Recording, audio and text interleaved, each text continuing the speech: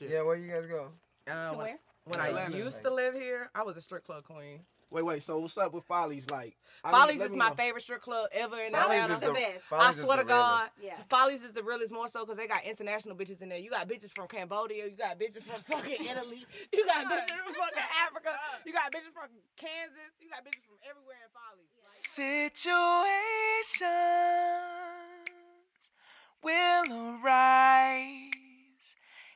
in our lives, but you gotta be smart about it. Celebrations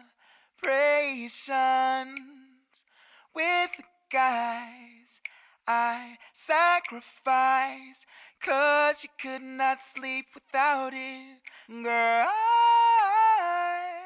I Cause I loved you. You were my girl. See, I, thought the world of you.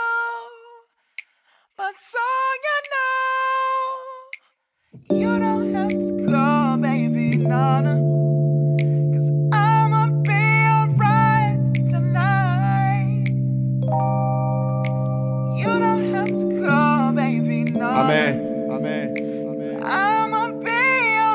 I waited. I waited. I waited.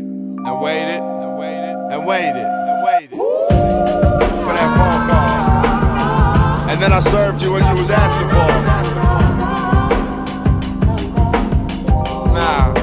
You ain't gotta make that call now.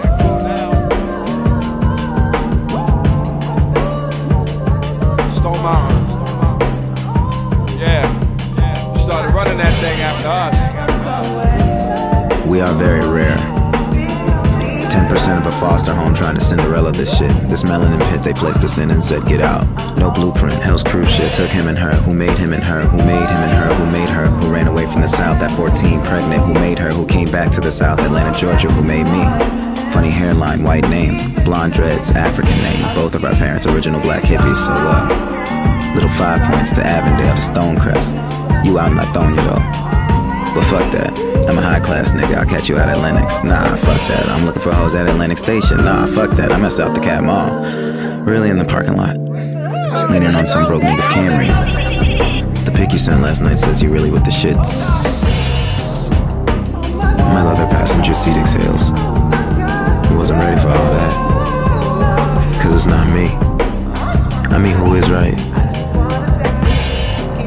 Take you to tongue and groove. It's twenty dollars to wear my hat inside. I give them a hundred and tell them to pay for it to the niggas behind me. They playing Jeezy like that shit came out yesterday. Thug motivation. I was never a thug, and they used to respect me for it. But now the game's fucked up, and I got a Michael Corleone these niggas.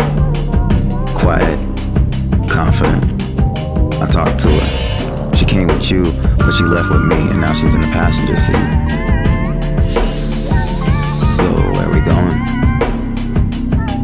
Just the way. The way, the way. Which leaves you standing there thinking. You don't have to call, baby.